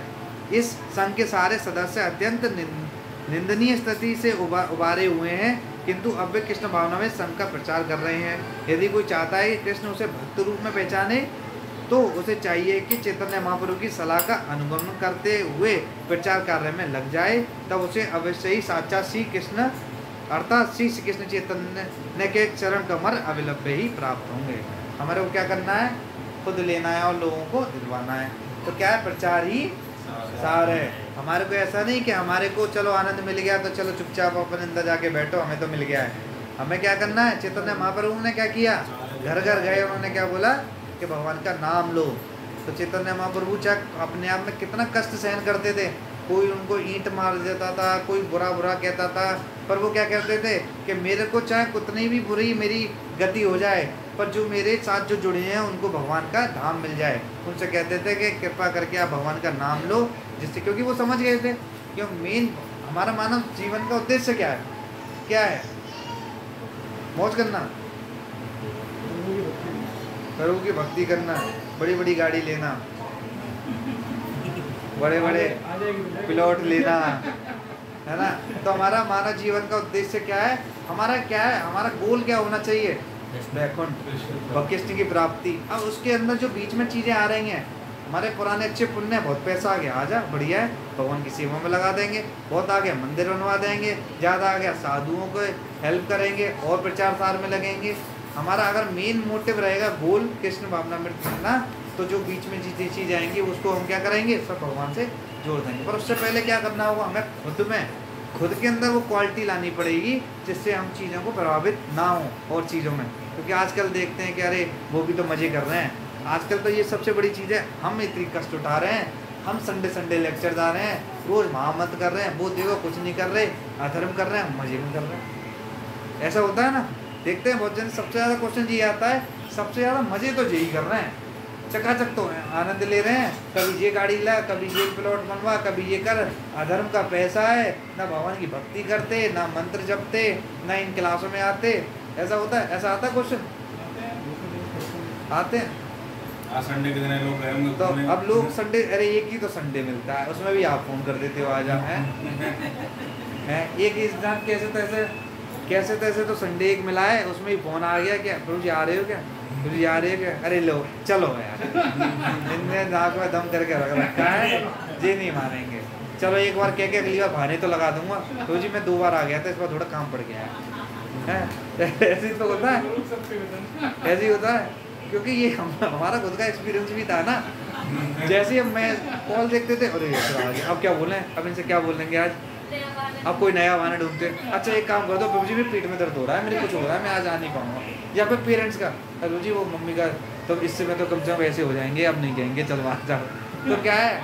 वो तो बुला रहे हैं किस लिए क्या भैया, हमें भी आनंद मिल जाए और उन्हें भी मिल जाए। पर हम लोग क्या करते हैं? तो बस ये है कि हमें इसमें क्या है? लगे रहना है। इनिशियल स्टेज ऐसी है, इसमें ना आनंद नहीं आता। ये बड़ा ऐसा लगता है कि बोरिंग सा लगेगा, ये लगेगा कि हमारा टाइम वेस्ट हो रहा है इससे तो हम कुछ कर सकते थे। टैंक है, ले ले। कुछ ये वो नहीं है। तो क्या है कि इनिशियल स्टेज हमारी जैसे मेरी भी थी जैसे मैं तो और सबसे कम एज का ही हूँ, शायद एक आधी की वो रहूँगा। तो जब लेता था, कहते थे संडे मिला है, थोड़ा तो मज़े कर लें कॉर्पोरेट लाइफ में हम इधर उधर घूम आएँगे, दोस्तों के भी फ़ोन आ रहे हैं इधर है तो क्या इनिशियल स्टेज इसकी थोड़ी सी दिक्कत में रहती है बड़ी, क्योंकि आनंद इतना मिलता नहीं है। हमारे को बस प्रोसेस ओरिएंटेड हो जाएँगे। गए, सुना, और आ गए, फिर आ गए। तो जब आनंद, जैसे जैसे जुड़ते रहेंगे, करते रहेंगे, हमारा आनंद एक मिल- मिलने शुरू होगा। तो जब आनंद मिलेगा तो हमें खुद से ही आएगा अपना। फिर क्या करेगा कि हमें बुलाना नहीं पड़ेगा। अरे, इस बार क्लास नहीं हुई क्या? तो क्या वो, ऐसा वो मिल जाएगा कि बिना हरी नाम के रहा ही नहीं जाएगा। बिना साधु संघ के नहीं रहा जाएगा। क्योंकि यही एक ऐसी जगह है, जहाँ पर लोग अच्छे से डीलिंग करते हैं। और जगह तो जाओ, क्या रे ला? नहीं तो यहाँ तो क्या है? चाहे हर जगह कुछ भी हो रहा है, यहाँ प्रभु जी आइए दंड सुना। तो वो कहता है चलो, एक जगह तो ऐसी है कि कहीं तो मेरे को स्वागत किया जा रहा है, कहीं तो हैं।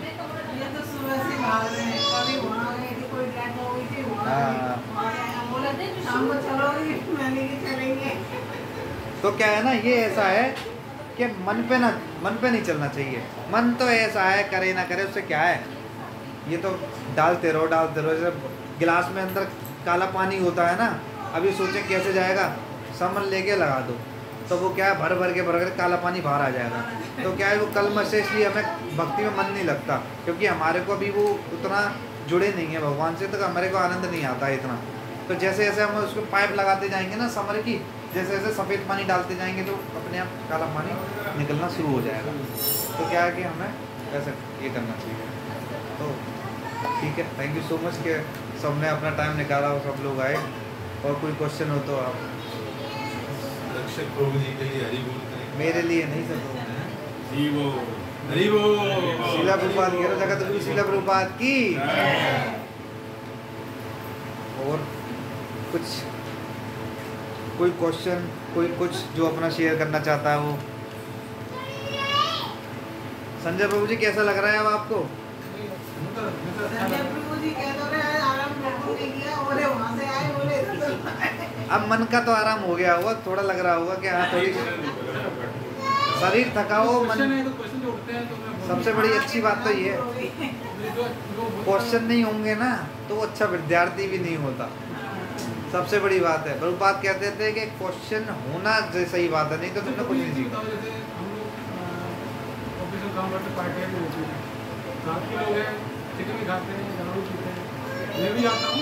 मैं भी जाता हूँ।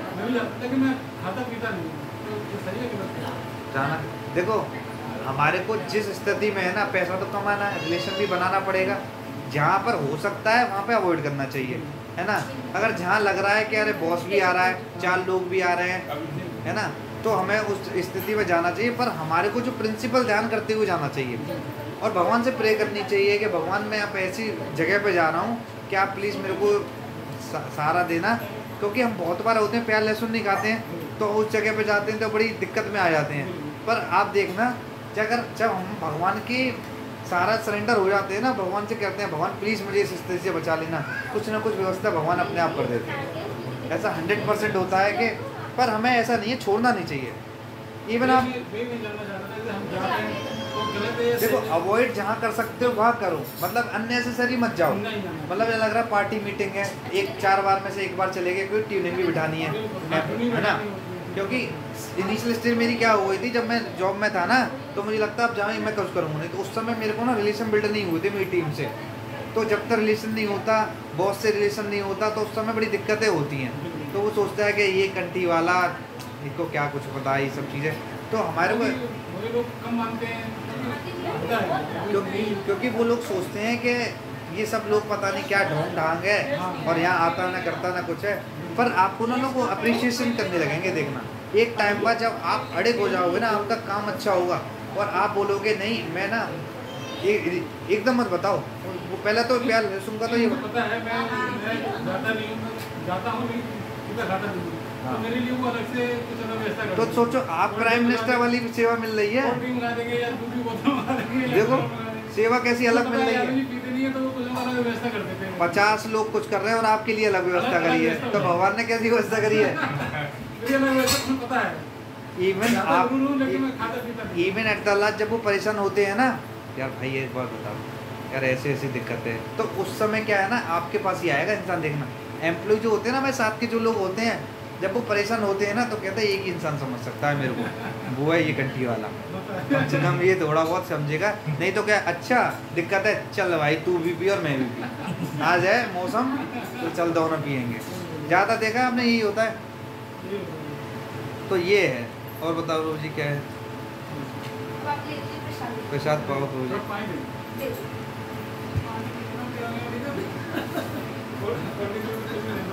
नहीं कोल्ड ड्रिंक और दे दूँ पानी ले लीजिए। गर्मी आप, ये ये जो चल रहा है ना, ये अपने बचाव के लिए किया गया है कि ये कम से कम इस बहाने